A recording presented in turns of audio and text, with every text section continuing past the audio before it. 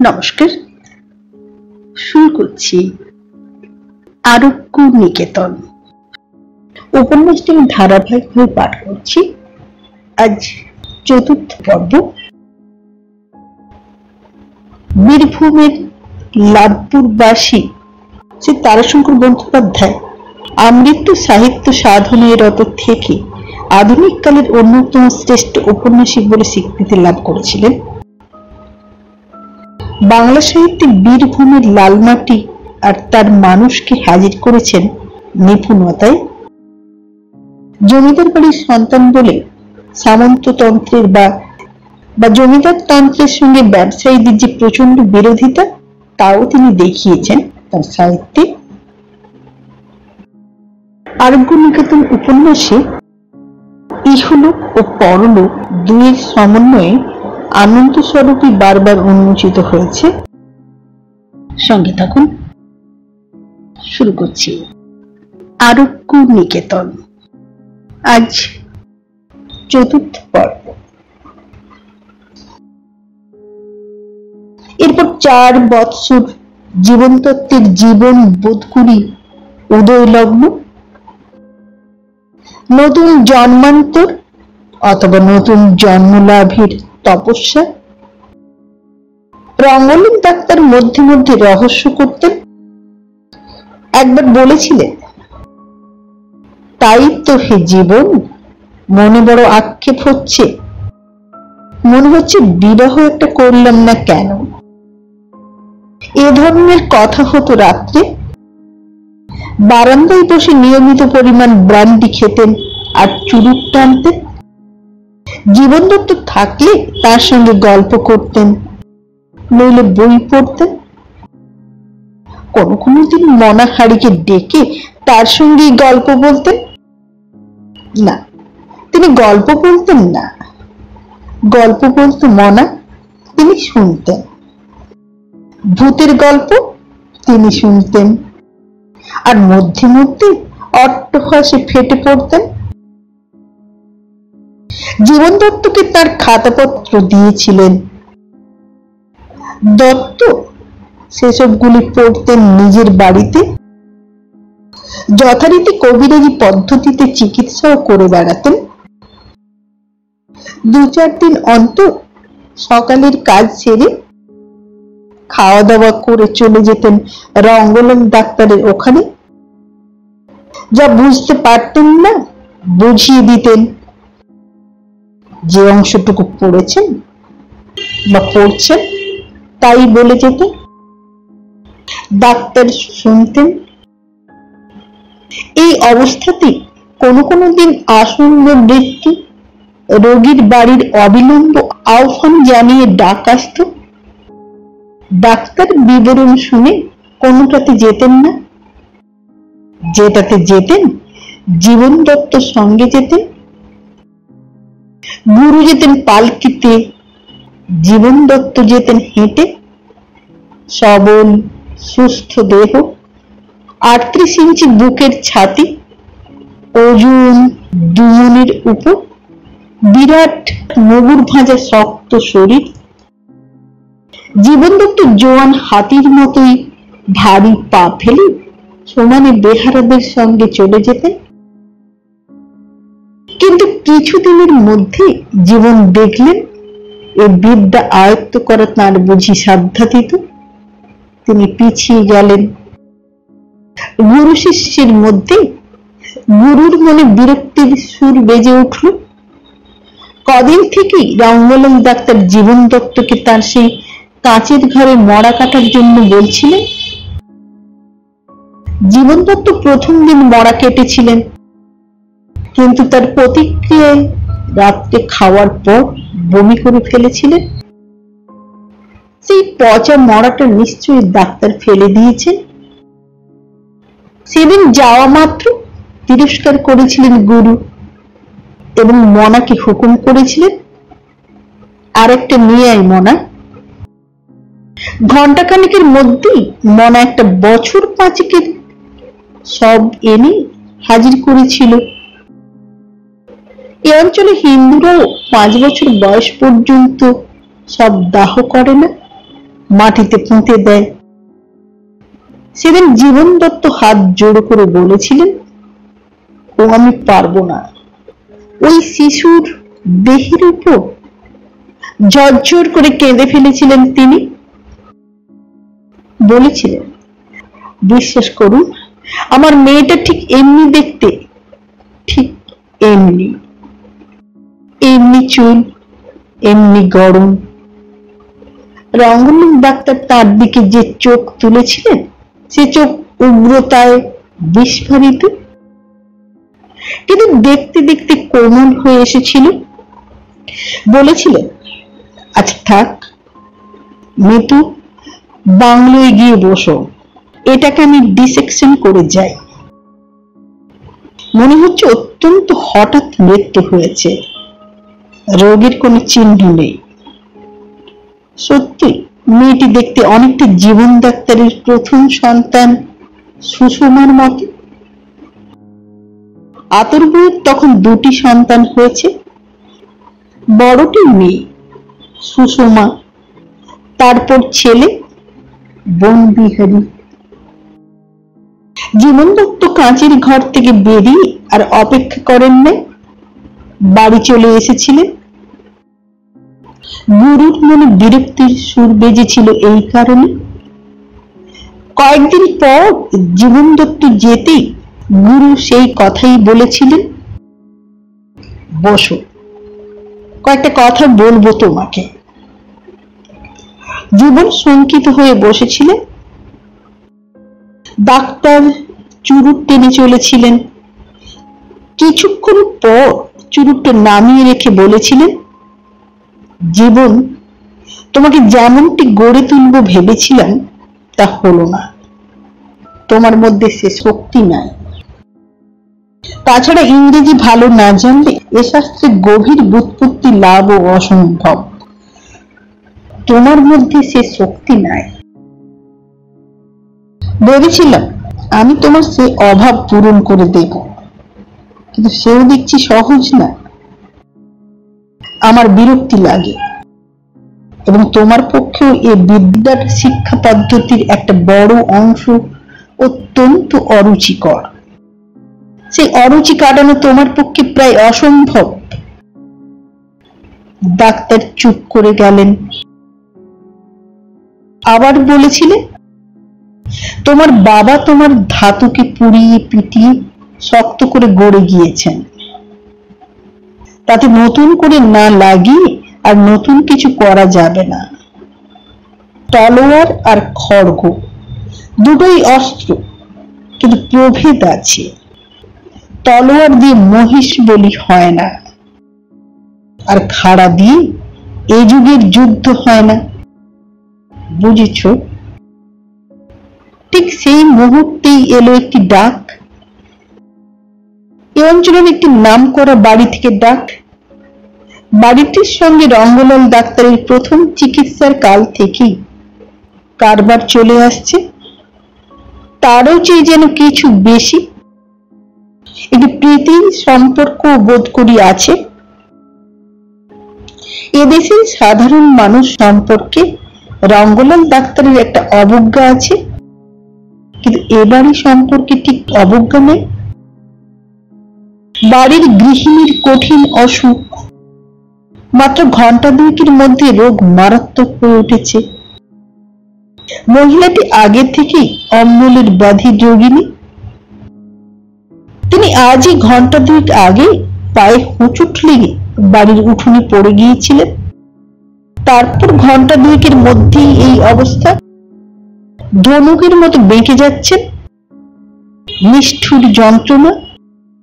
কথাও প্রায় বলতে পারছেন না। চোয়াল পড়ে গিয়েছে। রঙ্গনাথ ডাক্তার বিস্মিত হলেন। কতক্ষণ আগে পড়ে গেছেন বলছো? এই ঘণ্টা দুয়েক? মাত্র দু ঘণ্টা। আগে হ্যাঁ। তাই তো এত শিগগির। মনা? বেহারাদের ডাক। জীবন ডাক্তারও নীরবে গুরুর অনুসরণ করছিলেন। রঙ্গনীর ডাক্তার প্রথমটা লক্ষ্য করেন নাই। মধ্যপথে জীবনকে দেখেছিলেন। বলেছিলেন, তুমিও আসছো? এটা বোধ ইচ্ছা ছিল না তার।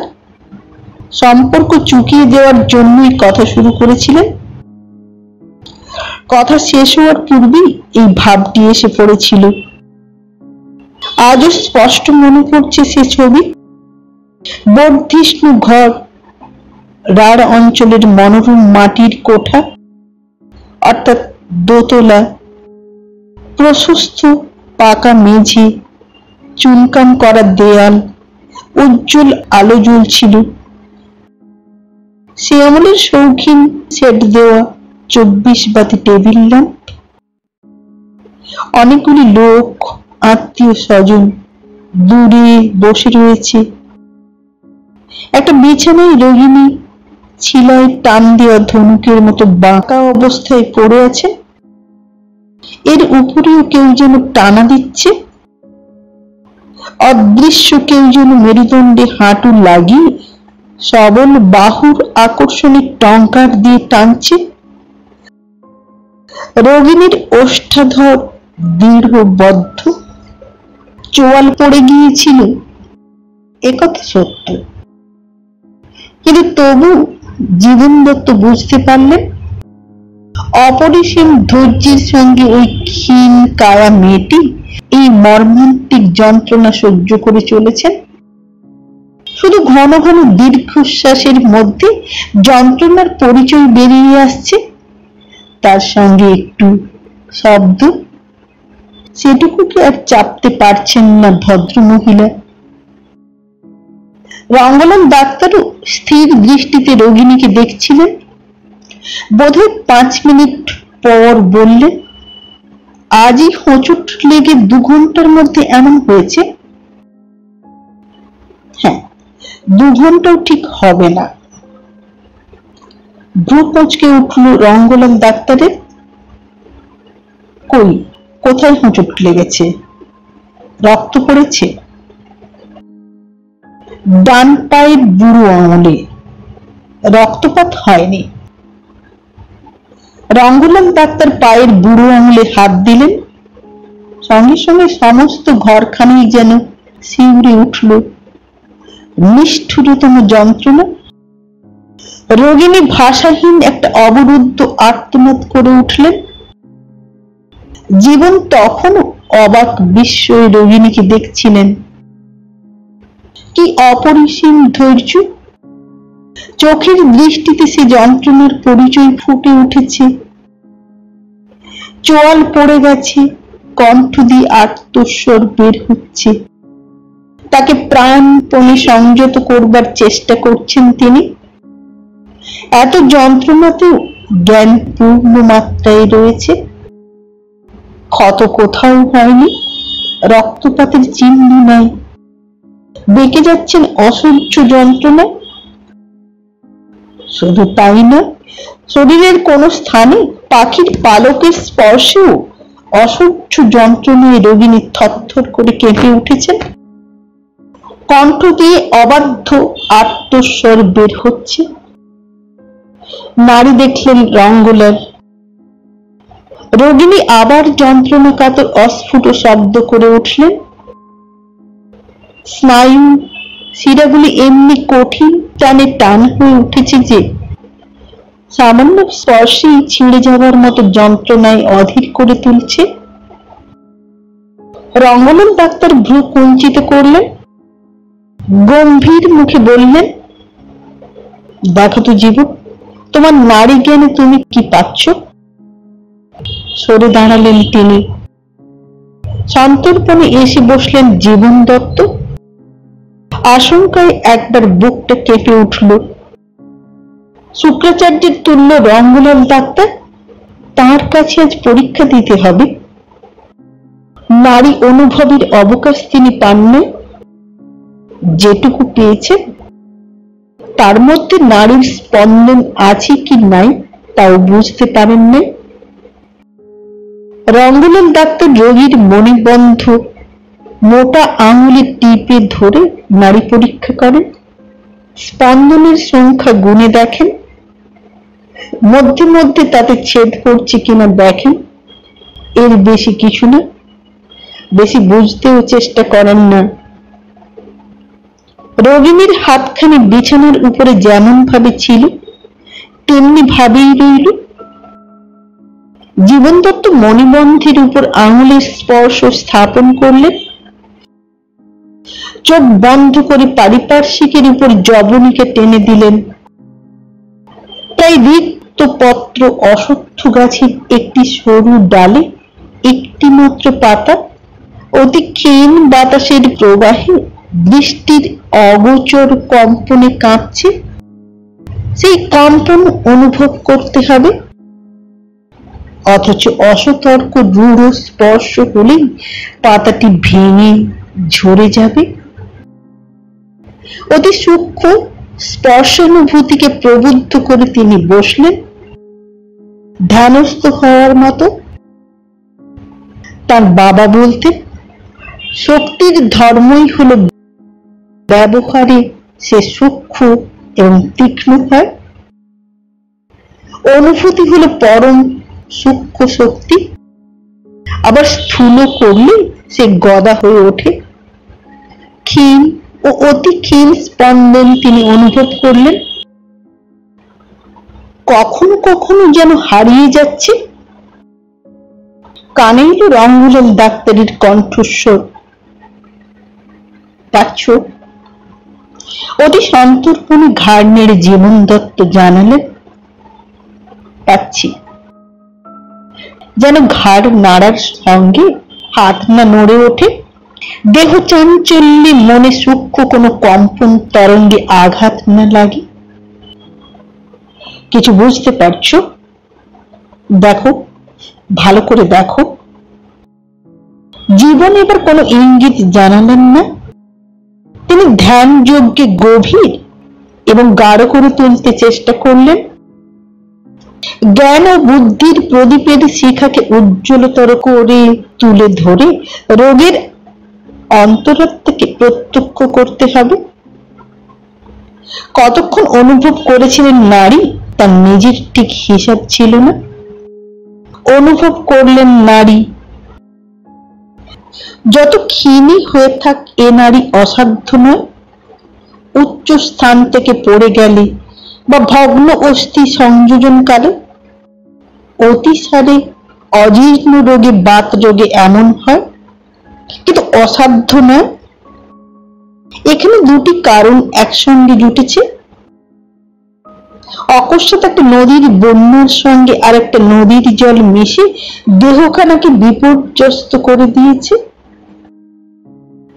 অজীর্ণ রোগে জীর্ণ দেহে পড়ে যাওয়ার আঘাতের ফলে এমন হয়েছে? আঘাতটা শুধু হেতু হয়েছে। এখন প্রয়োজন কুপিত বায়ুর প্রভাবে শরীরের স্নায়ু শিরাগুলির সংকোচন দূর করা কি দেখলে? রঙ্গনের ডাক্তার প্রশ্ন করলেন। এবং ব্যগ্রতার সঙ্গেই করলেন। আগে সবই নই জীবন বলেছিলেন। নারী দেখে তো একেবারে অসাধ্য মনে হচ্ছে না। তিনি নিজে নির্ণয়ের কথা বলে, বলেছিলেন, ধনুষ্টঙ্কার নয়। রঙ্গনাথ ডাক্তার ঘাড় নেড়ে সম্মতি জানিয়ে বলেছিলেন হ্যাঁ টিটেনাস তো নয়। এবং তুমি যা বলছো তাই খুব সম্ভব ঠিক।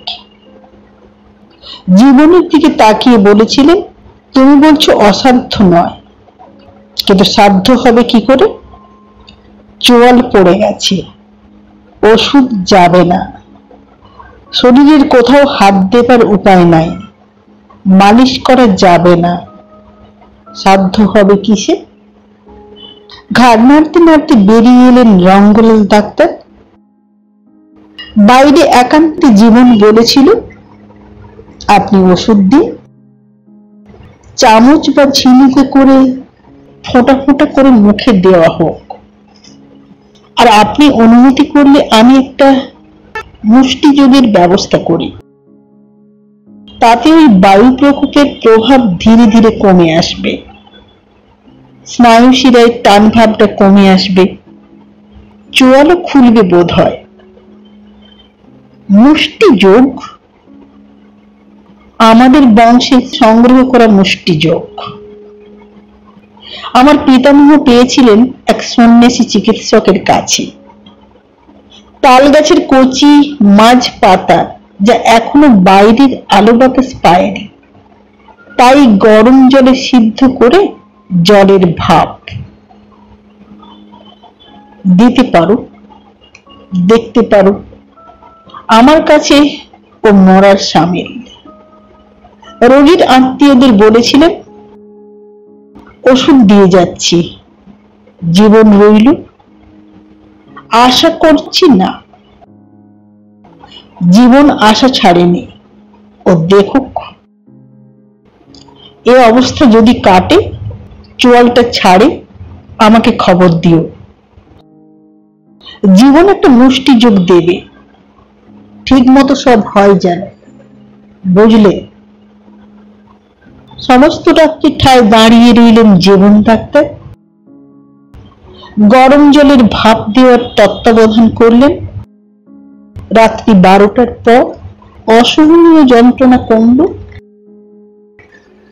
জীবন নারী দেখলেন, মুখ প্রফুল্ল হলো।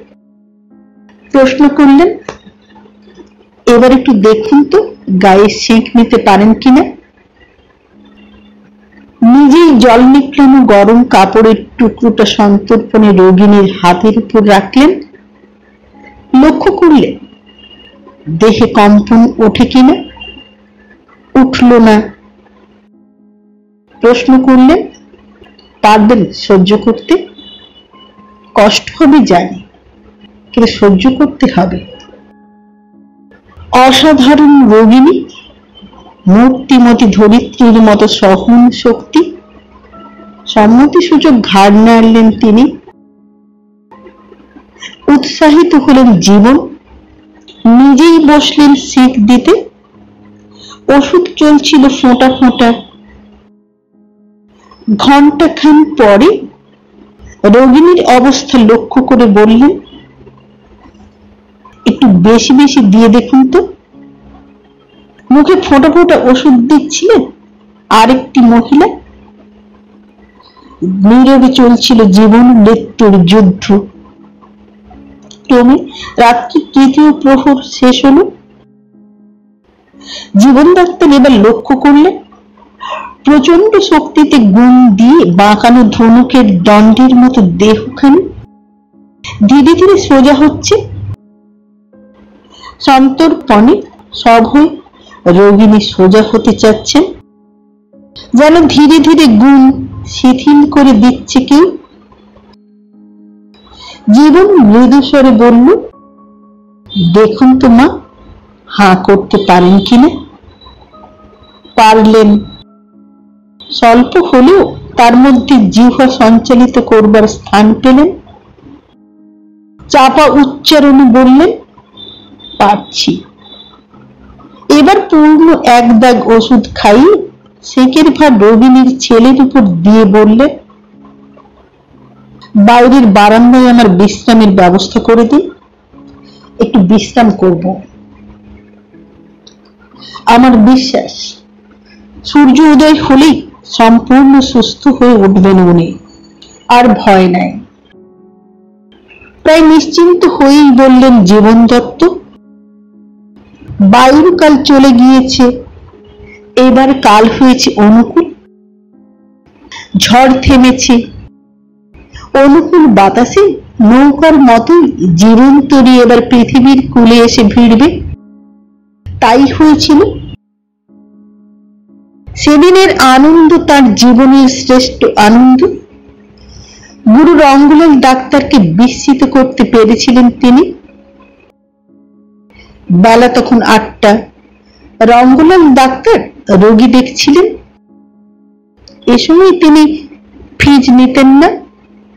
রোগী দেখতে দেখতে তিনি উৎসুক দৃষ্টিতে জীবনের দিকে তাকালেন। কান থেকে স্টেথোস্কোপটা খুলে প্রশ্ন করলেন, বাঁচাতে পেরেছ? আগে হ্যাঁ। বিপদটা আপাতত কেটে গিয়েছে। বাহ! আজ এইখানে থাকো, বিশ্রাম করো। দুপুরবেলা নিজে রোগিণীকে দেখে এসে খুশি হয়ে বলেছিলেন ক্রেডিট বারো আনা তোমার জীবন? আমার ওষুধে কিচ্ছু ছিল না। যা ছিল তার পাওনা সিকির বেশি নয়। মেয়েটির এখন কলিকের চিকিৎসার প্রয়োজন। আমি বলেছি, কবিরাজি মতে চিকিৎসা করাতে। তুমি ব্যবস্থা করো। সেই দিন রঙ্গলাল ডাক্তার রাত্রে ব্র্যান্ডিড রঙিন আমেজের মধ্যে মৃদু হেসে ওই কথাটা বলেছিলেন। বলেছিলেন, আক্ষেপ হচ্ছে যে জীবন, একটা বিয়ে করিনি কেন? তারপর ফোফো করে হেসে উঠেছিলেন, হাসি থামি আবার বলেছিলেন, কেন বললাম জানো? স্নেহে অভিভূত হয়ে পড়েছিলেন জীবন, অভিভূত ভাবেই তিনি জিজ্ঞাসা করলেন, আগে তুমি আমাকে দৈত্য গুরু শুক্রাচার্যের সঙ্গে তুলনা করো। সেটা আমি শুনেছি। আমি তাতে রাগ করি না। শুক্রাচার্য বিরাট পুরুষ। হোক এক চোখ কানা। হাসতে লাগলেন আবার। তারপর বললেন, আজ আমার ইচ্ছে হচ্ছে তোমাকে কচের সঙ্গে তুলনা করতে। আরও এক বৎসর পর রঙ্গলামী ডাক্তার তাকে বিদায় দিলেন। হঠাৎ চিকিৎসা ছেড়ে দিলেন। বললেন, আর না, এইবার শুধু পড়ব আর ভাবব। জীবন এবং মৃত্যু লাইফ অ্যান্ড ডেথ তার পিছনেই সেই প্রচণ্ড শক্তি তাকে ধারণা করবার চেষ্টা করব। আর দেশি গাছগাছরা নিয়ে একখানা বই লিখব। জীবনকে বলেছিলেন তোমার ডাক্তারি শেখাটা বোধহয় ঠিক হলো না। জীবন? ওইসব বিচিত্র অবিশ্বাস্য মুষ্টিযোগ নিয়ে যদি গবেষণা করতে পারতে? কিন্তু তাও ঠিক পারতে না তুমি। তোমার যে বৈজ্ঞানিক মন নয়, কার্য হলেই তোমার মন খুশি। কেন হলো? সে অনুসন্ধিৎসা তোমার মনে নেই। যাক, তুমি বরং ডাক্তারি কবিরাজি, মুষ্টিযোগ তিনটি নিয়েই তোমার ট্রাইসাইকেল তৈরি করো। ওতে চড়েই যাত্রা শুরু করো। নিজেরই একটা স্টেথোস্কোপ তিনি তাকে দিয়েছিলেন থার্মোমিটার দেননি। কিনতেও বারণ করেছিলেন। বলেছিলেন, ওর দরকার নেই তোমার। এরপরও জীবন দত্ত মধ্যে মধ্যে যেতেন। রঙ্গলম ডাক্তার দেখা করতেন, কিন্তু চিকিৎসা সম্পর্কে কোনো আলোচনা করতেন না। প্রশ্ন করলে বলতেন, ভুলে গিয়েছি। এখন বাগান করছি। গাছগাছরা সম্পর্কে কোনো প্রশ্ন থাকলে কর। আসল উদ্দেশ্য ফুলের বাগান নয়। রঙ্গলম ডাক্তার নিজের সমাধি ক্ষেত্র তৈরি করছিলেন। ওইখানেই তাকে মৃত্যুর পর সমাধিস্থ করা হয়েছে। তার ইচ্ছানুসারেই হয়েছে। তিনি উইল করে গিয়েছিলেন। সেই উইলে তিনি লিখেছিলেন, তাকে যেন সমাধি দেওয়া হয় এই বাগানের মধ্যে। একা ঘরের মধ্যে মরেছিলেন। মৃত্যুকালে ঘরের মধ্যে কাছে কেউ ছিল না। সেও তার অভিপ্রায় অনুসারে মনাহারি দরজায় পাহারা, মনা অঝোর ঝড়ে কেঁদেছিল, কিন্তু ঘরে কাউকে ঢুকতে দেয়নি। বলেছিল, সে পারবে না, বাবার হুকুম নাই ওই রঙ্গলম ডাক্তারের দেওয়া স্টেথোস্কোপ নিয়ে তিনি অ্যালোপ্যাথিক চিকিৎসা শুরু করলেন। কবিরাজি ত্যাগ করলেন না। মুষ্টিযোগও রইল। সেই বাড়ি দত্ত মশাইদের চিকিৎসালয়ের নামকরণ করলেন আরোগ্য নিকেতন নবগ্রামে তখন হরিশ ডাক্তার খুলেছে, হরিশ ফার্মেসি। ধনী ব্রজলাল বাবু দাতব্য চিকিৎসালয় প্রতিষ্ঠা করে নাম দিয়েছে পিয়ারসন চ্যারিটেবল ডিসপেন্সারি। হোমিওপ্যাথ এসেছে একজন। পাগল ছিল লোকটা নাম বলতো কে এম বারুরি, অর্থাৎ ক্ষেত্রমোহন বারুরি। তার ডিসপেন্সারিটির নাম ছিল ব্রারুরি হোমিও হল। জীবন দত্ত কলকাতায় অ্যালোপ্যাথিক ওষুধ কিনতে গিয়ে ওই সাইনবোর্ডটা লিখিয়ে এনেছিলেন আরোগ্য নিকেতন উফ উদ্যোগ পর্বে আতর বইয়ের সে কি রাগ? অ্যালোপ্যাথিক ওষুধ, আলমারি এবং সরঞ্জামপাতি কিনবার জন্য পাঁচশো টাকায় পাঁচ বিঘে জমি বিক্রি করেছিলেন তিনি। রাগ, ক্ষোভ তার সেই উপলক্ষ করে। নইলে ওটা ভিতরে ভিতরে জমাই ছিল। ক্ষোভের দোষ ছিল না। জগৎ মশাইয়ের আমল থেকে তার আমল পর্যন্ত তখন লোকের কাছে ওষুধের দাম পাওনা তিন চার হাজার টাকারও বেশি। সচ্ছল অবস্থার লোকের কাছেই পাওনা বেশি। কিন্তু তার মধ্যে এই প্রয়োজনে শতখানেক টাকার বেশি আদায় হলো না। এর জন্য ক্ষোভ তার নিজেরও হয়েছিল। কিন্তু আতর বইয়ের ক্ষোভ স্বতন্ত্র বস্তু। সে ক্ষোভ তার উপর এবং সে ক্ষোভ ক্ষমাহীন। আতর বইয়ের বাহ্যিক ক্ষোভের আপাতত উপলক্ষ যাই হোক, ক্ষোভ প্রকাশ হলেই মুহূর্তে মূল কারণ বেরিয়ে পড়ে। সেটা হলো তার বিরুদ্ধে একটা অনির্বাণ, চিতার মতো অসন্তোষের বন্যে দাহ। তখন ওই জমি বিক্রির উপলক্ষ নিয়ে তার মনের আগুন জ্বলেছিল। মনে পড়ছে, পাওনা আদায় করতে গিয়ে টাকা পাওনা দূরে থাক, কটু কথা শুনে তখন তো নিজের মনেও ক্ষোভ জমেছিল। ওষুধের বাকির প্রসঙ্গে লোকে বলেছিল, পঞ্চাশ টাকা, ওষুধের দাম, কি ওষুধে সোনা ভস্য না মুক্তা ভস্য না মানিক ভস্য কি দিয়েছিলে? পঞ্চাশ টাকা। গাছ গাছরা আর গিয়ে এটা ওটা টুকি টাকি আর তো তোমার রস সিন্দুর। এর দাম পঞ্চাশ টাকা।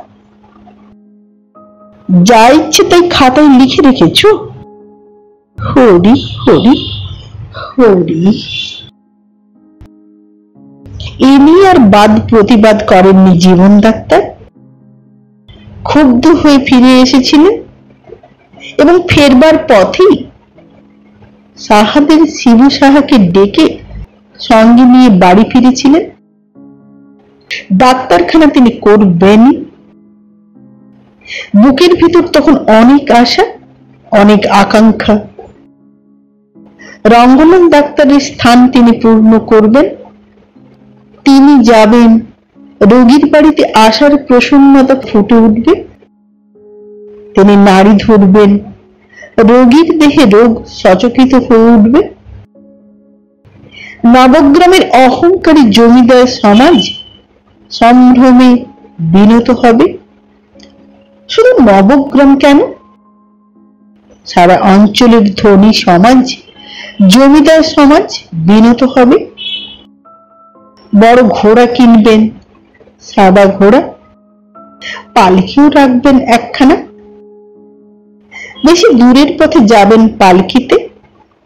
এ অঞ্চল বলতে সীমানো তো কম নয়। পূর্বে গঙ্গার ধার পর্যন্ত কান্তি পাঁচ থুপি। এদিকে অজয়ের ধার পর্যন্ত কান্দি গেলে ভূপির সঙ্গে দেখা করে আসবেন চিকিৎসা করে তাকে সারিয়ে তুলবেন নতুন আকাঙ্ক্ষা হয়েছে তার। জীবনের তখন অনেক আশা। ছেলে বনবিহারীর বয়স মাত্র বছর তিনেক। তাকে ডাক্তারি পড়াবেন। বড় ডাক্তার করে তুলবেন। মেডিকেল কলেজ থেকে এল এম এস পাশ করে আসবে সে। আজ যারা অবজ্ঞা করে তার পাওনা টাকা দিলে না? উপরন্তু ইঙ্গিতে অসাধুতার অপবাদ দিলে, তারাই তার কাছে আসবে বিপদের দিনে। সেদিন তিনি তাদের না, ফিরিয়ে দেবেন না। কটু কথা বলবেন না, যাবেন। তার বংশের নাম হয়েছে মশাইয়ের বংশ। বংশের মহোদশয়ত্ব ক্ষুণ্ণ করবেন না। তিনি পথেই দাম দর করে জমি বিক্রির কথাবার্তা পাকা করে বাড়িতে এসে বললেন, তুমি বসো শিবু, তুমি বসো। আমি দুটো মুখে দিয়ে নি তুমি বসো শিবু, তারপর বের হব। কাগজ কিনে লেখাপড়া শেষ করে বাড়ি ফিরব। রেজিস্ট্রির সময় তো তিন মাস। শিবু বলেছিল, দেখুন দেখি। লেখাপড়ারই বা তারা কিসের গো? আপনি মশাইয়ের বংশের সন্তান। আজ আপনি মশাই। আমি টাকা এনে গুনে দিয়ে যাচ্ছি। লেখাপড়া রেজিস্ট্রি হবে পরে। শিবু পাঁচশো টাকা এনে দিয়ে গিয়েছিল সেই দিনই সন্ধ্যাবেলা। ওদিকে বাড়িতে তখন আতর বউ আগুন ছড়াতে শুরু করেছেন অদৃষ্ট অদৃষ্ট, সবই অদৃষ্ট। মা খেয়েছি, বাপ খেয়েছি। সারা বালিকা বয়সে মামা মুনির মাদিগিরি করেছি বিনা মাইনেতে। শ্বশুর বাড়িতে শাশুড়ি খেলাম, শ্বশুর খেলাম। এইবার লক্ষ্মী বিদায় হবে, তারা আশ্চর্য কি? আমি দিব্য চোখে দেখতে পাচ্ছি। মেয়ে হয়েছে, ছেলে হয়েছে। ওদের হাত ধরে ভিক্ষে করতে হবে আমাকে। পথে বসতে হবে। জীবন দত্তের মাথার মধ্যেও আগুন জ্বলে উঠেছিল।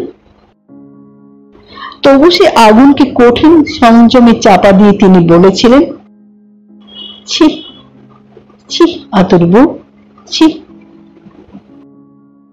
কেন? ছি কেন? আমার অদৃষ্ট তো এই বটে। কোনখানটা মিথ্যে বলো? শ্বশুর দেহ রাখবার আগের মাসেও এ বাড়িতে জমি এসে ঢুকেছে। আজ চার বছর তিনি গিয়েছেন। এরই মধ্যে জমি বেরিয়ে গেল। এই বছর যেতে না যেতে আমি পাঁচ বিঘের জায়গায় দশ বিঘে কিনব। তার কিনবে না? কত বড় ডাক্তার হয়ে এলে? একেবারে বিলাতি পাশ করা সাহেব ডাক্তার। এবার আর সহ্য করতে পারেননি জীবন ডাক্তার। কঠিন কণ্ঠে বলেছিলেন, আতর বউ। চমকে উঠেছিলেন আতর বউ, সে ডাকে। কয়েক মুহূর্তের জন্য স্তব্ধ হয়ে গিয়েছিলেন। তারপর শুরু করেছিলেন কান্না। জীবন ডাক্তার সে কান্না গ্রাহ্য করেননি। কাঁদতি ওর জন্ম। ওই তার বোধ করি প্রাপ্য। কাঁদুন তিনি। তিনি কি করবেন? সেই রাত্রে তিনি কলকাতা রওনা হয়েছিলেন। কলকাতা থেকে ওষুধ, আলমারি কিনে এনে ওই সাইনবোর্ডটা ঝুলিয়ে দিয়েছিলেন। আরোগ্য নিকেতন সেটার মুখুজি এনে দিয়েছিল একটা গণেশ মূর্তি। সুরেন সিন্দুর দিয়ে তার নিচে লিখেছিল, শ্রী শ্রী গণেশায় নম। পাগলা নেপাল তাকে একখানে সে বাঁধানো নোটবুক এনে দিয়েছিলেন। নেপাল তখন কাজ করত নবগ্রামের ধনী ব্রজলাল বাবুর বাড়িতে। ব্রজলাল বাবুর জামাই ছিলেন ইঞ্জিনিয়ার। তার সঙ্গে বন্ধুত্ব ছিল নেপালের। খাতাখানা সে তার কাছ থেকে সংগ্রহ করে এনে দিয়ে বলেছিল, নে, রঙ্গলাল ডাক্তারের মতো নোট করে রাখবি। আরও এসেছিল সেদিন স্থানীয় ডাক্তারেরা, কৃষ্ণলাল বাবুর বাড়ির ডাক্তার, হরিশ ডাক্তার এসেছিল। এখানকার স্কুলের হেডমাস্টার এসেছিল, থানার দারোগা। আর এসেছিল শশীকে নিয়ে শশীর পিসিমা? বাবা জীবন? আপনি কি হয়েছে? জীবন দত্ত ভেবেছিলেন শশীরই কোনো অসুখ হয়েছে? বাবা, শশীর বড় ইচ্ছে। খানিক আধিক চিকিৎসা শেখে? একটু পাগলাতে ভাব, ওই নেপালের মতো। ফিক ফিক করে হাসত। ও সে এক মনোহর রাত্রি। খাওয়া দাওয়া খেলাধুলা গান বাজনা। এরই মধ্যে পাগল নেপাল এক কাণ্ড করেছিল। ওষুধের সঙ্গে কয়েক বোতল গোলাপ জল ছিল। নেপাল লুকিয়ে গোলাপ জল মাখতে গিয়ে তাড়াতাড়িতে মাথায় দিয়েছিল ফ্রেঞ্চ বার্নিশ আসবাবে দেবার জন্য জীবন দত্ত ওটা এনেছিল। তারপর সে এক কাণ্ড, মাথার চুলগুলিতে গালা জমে নেপালের আর দুর্গতির সীমা ছিল না। সে কি হাসি সকলে? শশী হেসেছিল সবচেয়ে বেশি। নিদান্ত তরুণ বয়স তার উপর সেদিন সে জীবন মশাইয়ের মনতুষ্টির জন্য ছিল অতিমাত্রায় ব্যস্ত। সেই শশী বিরক্তি প্রকাশ করে গেছে। তার নিদান হাঁকার জন্য কটু কথা বলে গেছে। একটা দীর্ঘশ্বাস ফেললেন বৃদ্ধ। মশা কে যেন ডাকলে মশা বৃদ্ধ জীবন দত্ত চকিত হয়ে ফিরে তাকালেন। অন্ধকারের মধ্যেই তো বসেছিলেন তিনি। হঠাৎ আলোর ছটা এসে পড়েছে। কে তাকে ডাকছে? হুম।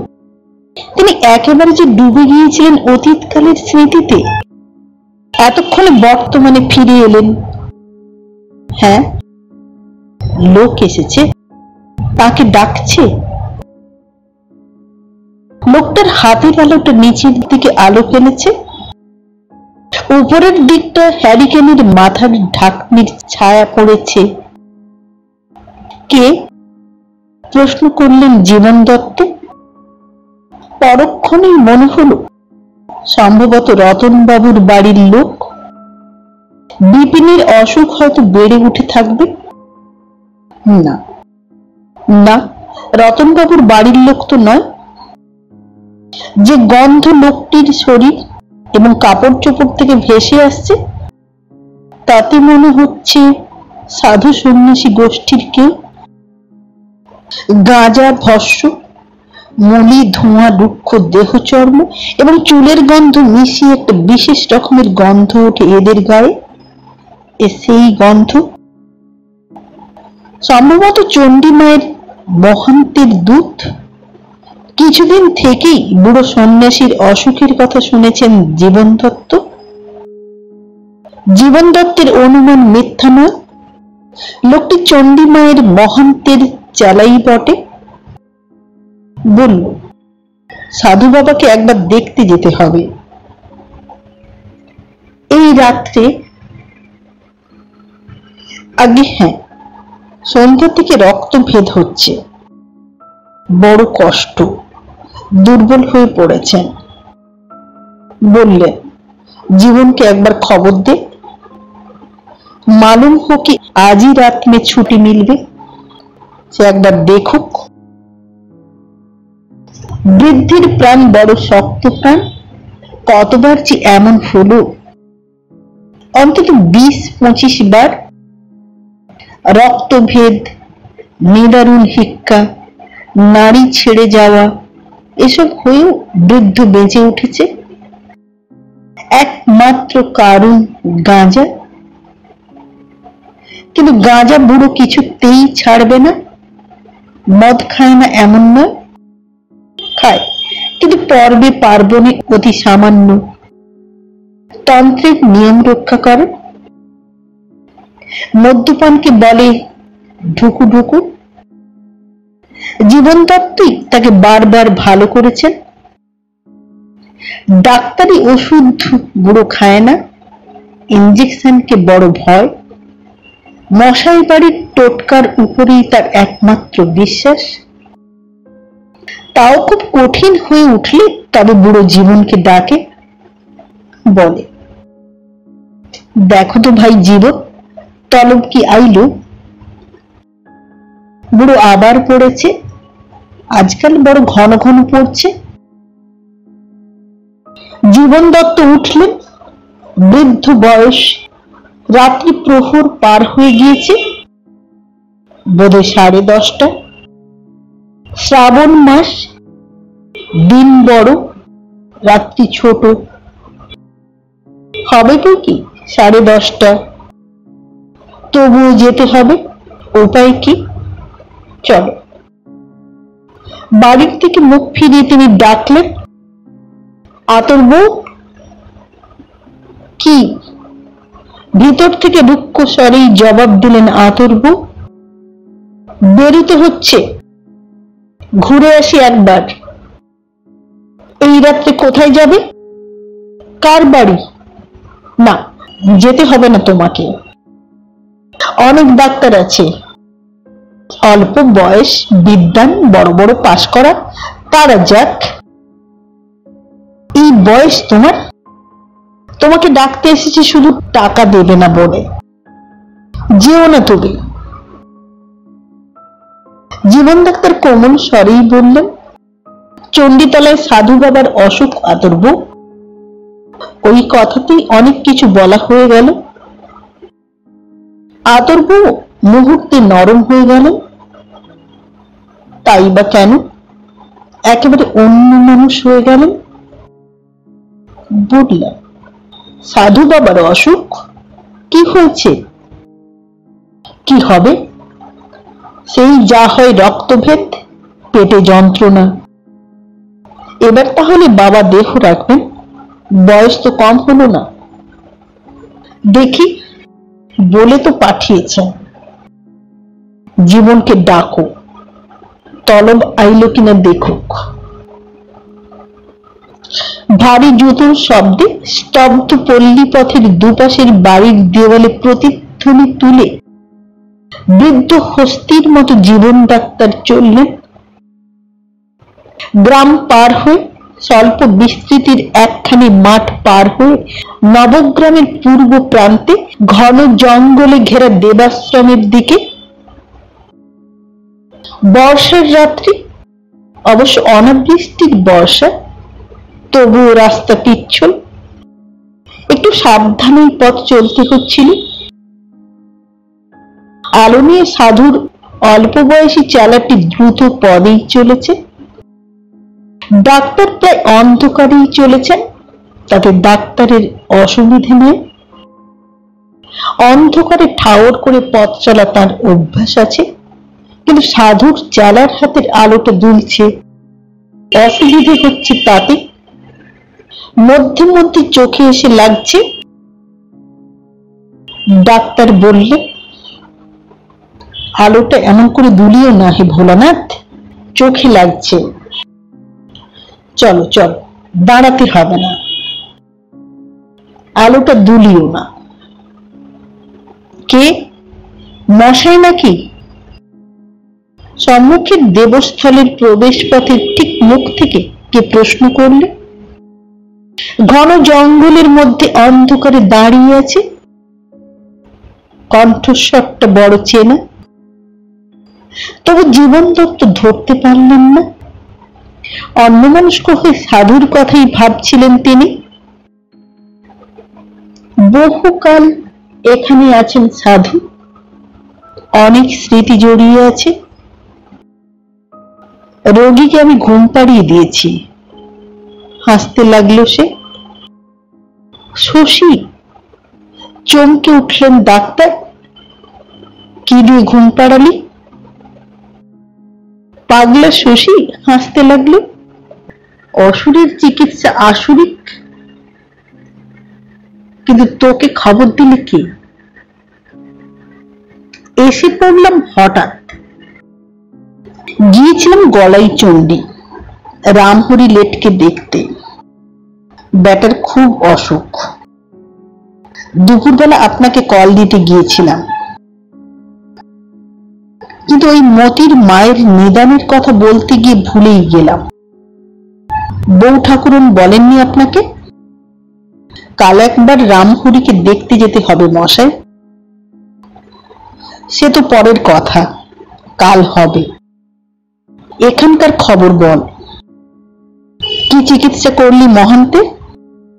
উৎকণ্ঠ অনুভব করছিলেন তিনি। শশীকে যে তিনি জানেন, শশী বললে, আর কি? গলাইচণ্ডী থেকে ফিরবার পথে ঢুকলাম। ভিজে শরীরটা ঠান্ডা হয়ে গিয়েছিল। আর কেমন ছমছম করছিল, বুঝেছেন?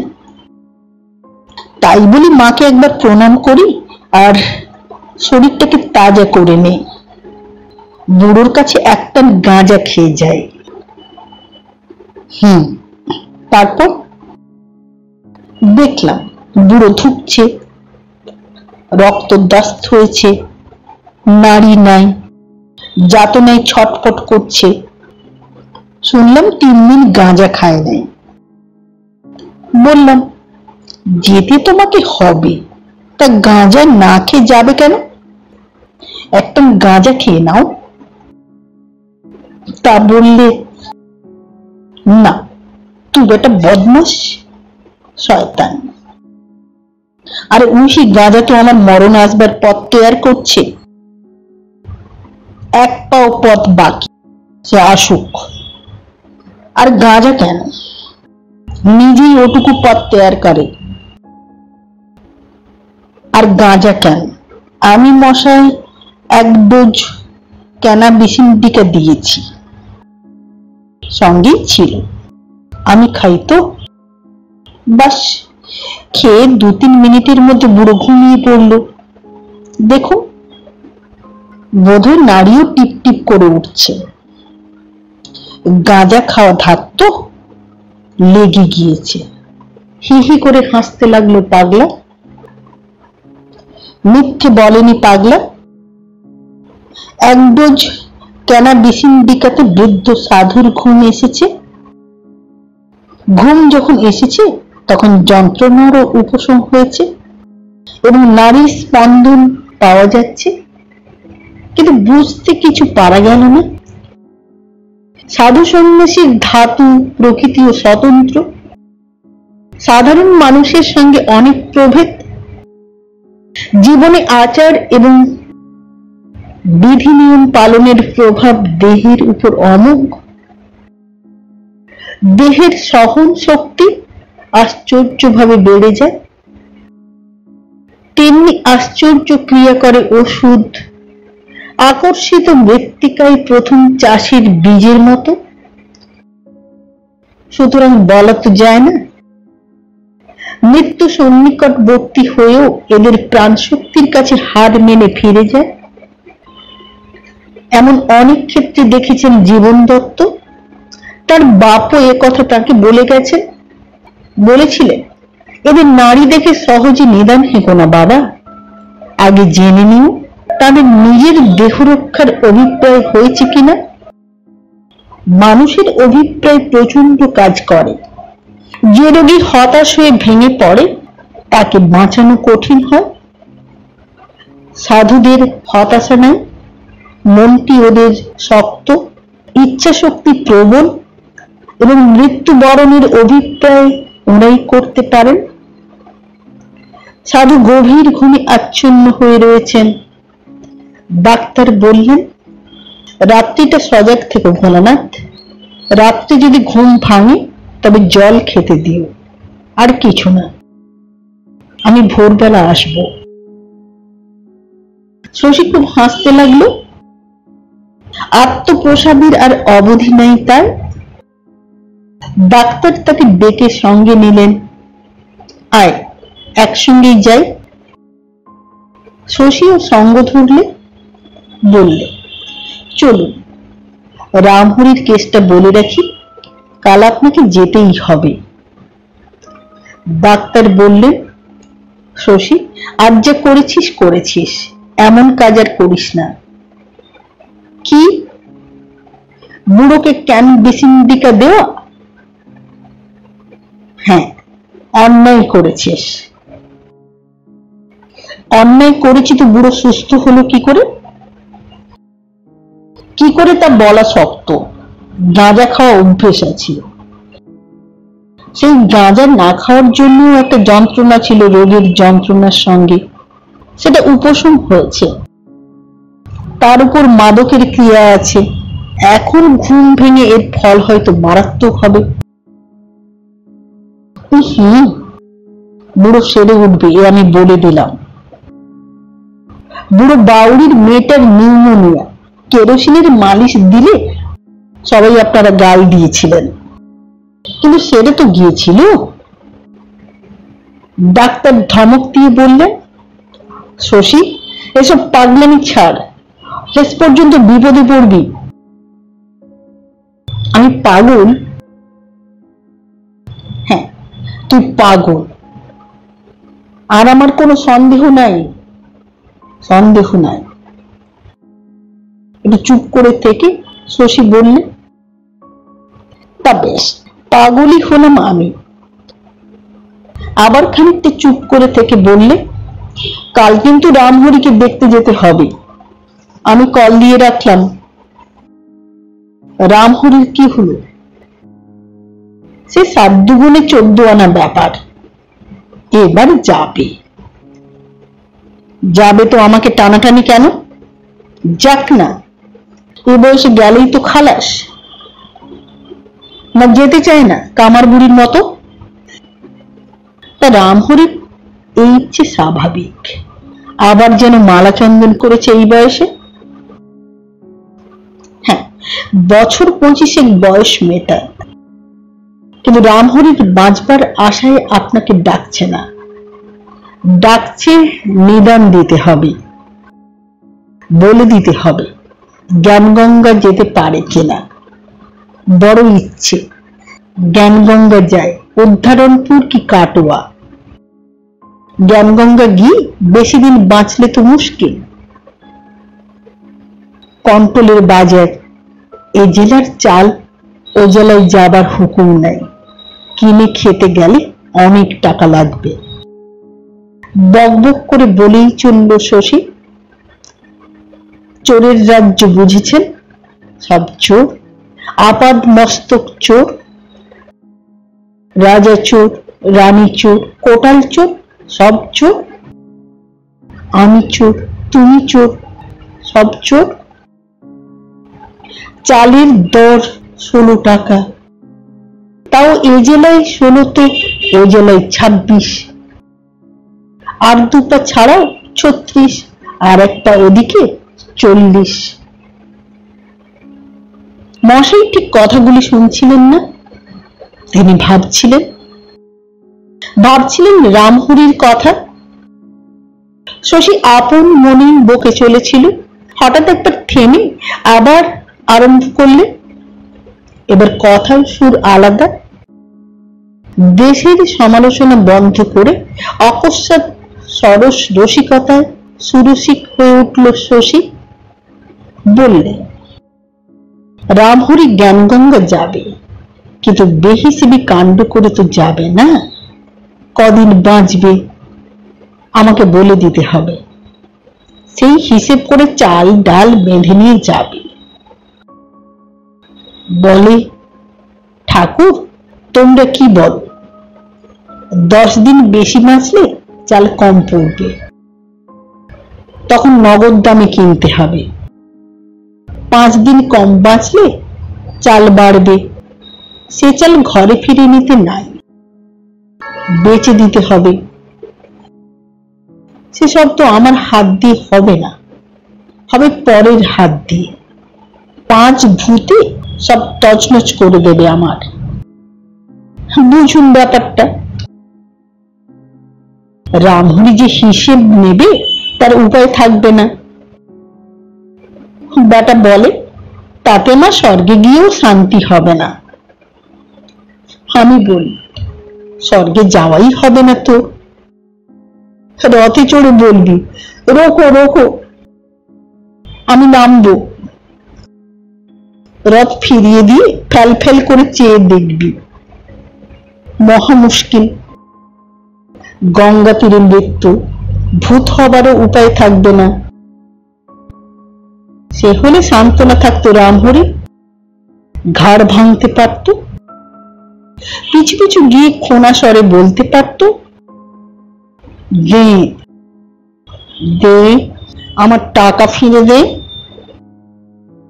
হিহি করে হাসতে লাগল শশী। শ্রাবণের অন্ধকার রাত্রির মধ্যে দুজনে পথ হাঁটছিলেন। বৃদ্ধ জীবন মশাই আপনার মনে রামহরির কথা ভাবছিলেন। এমনটা কি করে হলো? কেমন করে হয়? জ্ঞানগঙ্গা যেতে চায় রামহরি? বিনা ভাবনায়, বিনা কামনায়, বৈরাগ্য চোখ মুক্তি পিপাসা কি জাগে? আমি মরব। এই কথা ভেবে প্রসন্ন মনে সমস্ত কিছু পিছনে ফেলে অভিসারে চলার মতো চলতে পারে। দীর্ঘকাল প্রতীক্ষার পর যুবতী বধূ স্বামী সন্দর্শনে যাওয়ার কালে বাপের ঘরের উঠানে পাতা খেলা ঘর ফেলে যাওয়ার মতো যেতে পারে। রামহরি প্রথম জীবনে ছিল ছিচকে চোর তারপর হয়েছিল পাকা ধান চোর বার দুয়েক জেল খাটার পর হঠাৎ রামহরির দেখা গেল ঘোরতর পরিবর্তন। রামহরি কপালে ফোঁটা তিলক কেটে গলায় কণ্ঠিমালা পরে হয়ে উঠল ঘোরতর ধার্মিক। জীবিকা নির্বাহের জন্য ব্যবসা শুরু করলে তরকারির ব্যবসা। চাষির ক্ষেত থেকে তরকারি কিনে হাটে হাটে ঘুরতে লাগল। অর্থাৎ ফড়ে হয়ে উঠল মুখে রামহরি চিরকালই ফড়ে অর্থাৎ কথা সে বেশি চিরকালই বলতো। এবার ব্যবসায় তাই হয়ে উঠল। লোকের বাড়ি ক্রিয়াকর্মে বরাত এবং বায়না নিয়ে তরকারি সরবরাহ করত। কিন্তু ওর অন্তরালে ছিল তার আসল ব্যবসা। নদীর ধারে জঙ্গলের মধ্যে দস্তুর মতো কবিরাজের মৃত সঞ্জীবনী চোলাইয়ের পাকা পদ্ধতিতে মদ তৈরি করত। জঙ্গলের মধ্যে বোতল এবং টিন বন্দি করে পুঁতে রাখত। ওইখানেই শেষ নয় নদীর চরের পলিমাটিতে সে গাঁজার গাছ তৈরি করে গাঁজাও উৎপন্ন করত এবং তার কাটতিও ছিল প্রচুর। দেশটা তান্ত্রিকের দেশ ছিল। মন্ত্র হোক বা না হোক জানুক বা না জানুক, লোকে কারণ করত। কপালে সিন্দুরের ফোঁটা, মুখে কালি কালি, জয় কালী। তারা তারা রব। আর কারণ করণে শতকরা নিরানব্বই জন ছিল সিদ্ধ পুরুষ। সুতরাং হাজার তরুণী সিদ্ধ পুরুষের প্রসাদে রামহরির লক্ষ্মী লাভের পথে সিংহদয় না হোক বেশ একটা প্রশস্ত ফটক খুলে গিয়েছিল। উদ্যোগী পুরুষ রামহরির সাহস ছিল অপার। নবগ্রামের থানার সামনে রাস্তা দিয়ে কুমড়ো কাঁকুড়ের বোঝার তলায় অন্তত চার পাঁচটা বোতল নিয়ে এসে সহস্য মুখে চলে যেত। এই হাটে বসে তাই বিক্রি করত। কুমড়ো মুখ কেটে ভিতরের শ্বাস বীজ বের করে নিয়ে তার মধ্যে আনত গাঁজা। বাড়িতে দেব প্রতিষ্ঠা করেছিল সুপবিত্র নিম্ন কাষ্ঠের গৌরহরি কিন্তু ঠাকুরটির বক্ষ পঞ্জর ছিল ফাঁপা। দস্তুর মতো মাথা খাটিয়ে বুক এবং পিঠের দুদিকে দুখানি স্বতন্ত্র কাঠে গড়ে ভিতরের গহ্বর রেখে টাকা মিস্ত্রি দিয়ে এই দৈব গুদামটি সে তৈরি করিয়েছিল এবং পিঠের দিকের কাঠের নিচের উপরে দুটি ঢাকনিযুক্ত মুখ রেখেছিল। উপরেরটি খুলে গাঁজা ফুটত এবং প্রয়োজন বোধে বের করে নিত। এরপর আরেক ধাপ উপরে উঠে রামহরি রীতিমতো দাসজি হয়ে উঠেছিল। তরকারির ব্যবসা তুলে দিয়ে মুদির দোকান এবং ধান কেনার ব্যবসা শুরু করে। ভেক নিয়ে দাস উপাধি নিয়ে গণ্যমান্য হয়ে উঠেছিল কয়েকখানা গ্রামের মধ্যে। শুধু ভেকই নয় নাই নিজের স্বজাতীয় স্ত্রী এবং পুত্রকে দূর করে দিয়ে একটি উচ্চবর্ণের বিধবাকে ঘরে এনে বৈষ্ণবী করেছিল। ক্রমে ক্রমে আরও বোধ হয় দু তিনটি এদের জন্য দুই পৌর বয়সে দৌড়ানির মতো ঘুটে কুড়িয়ে মরে পরিত্রাণ পেয়েছে। একজন পালিয়ে, শেষেরটি তরুণী। সেইটি এখন রামহরির সুরানী। সেই রামহরি সজ্ঞানে মৃত্যু কামনা করে গঙ্গা তীরে চলেছে। মুক্তি চায় সে, বিস্ময় লাগে বই কি শশী তামাক টেনে শেষ করে হুঁকোটা হাতে ধরে নিয়ে বললে, কাল চলুন একবার। আমি বেটাকে বলেছি, ফি পাঁচ টাকা লাগবে। ডাক্তারবাবু তো আর কলে যান না, তবে বলে কয়ে রাজি করাবো। তা তাতেই রাজি। কতটা ডাক্তারবাবুর কানে গেল না? তার মনোভূত চলেছিল ছুটে। পলকে যুগান্তর অতিক্রম করে পিছনের পরিক্রমা সেরে বর্তমানে এসে সেই মুহূর্তেই স্থির হলো বোধ করে। তিনি হাসলেন। শশী বললেন হাসছেন যে? জীবন বললেন নবগ্রামের কর্তাবাবুর চিকিৎসার জন্য কলকাতা যাওয়া মনে আছে তো শশী? তা আবার নয় বাড়ি থেকে পালকি করে বেরিয়ে সব ঠাকুর বাড়িতে প্রণাম করে। সে তো জ্ঞানগঙ্গা যারাই গিয়েছেন, তারা সবই তো তা করেছেন রে। সে না। তবে কর্তা কাশি গেলেন না? উদ্দারণপুর গঙ্গা তীর গেলেন না? গেলেন কলকাতা? কলকাতা ও গঙ্গা তীর কিন্তু গঙ্গা তীরে দেহ রাখতে ঠিক যান কি? গিয়েছিলেন চিকিৎসা করিয়ে বাঁচতে। তা হবে না।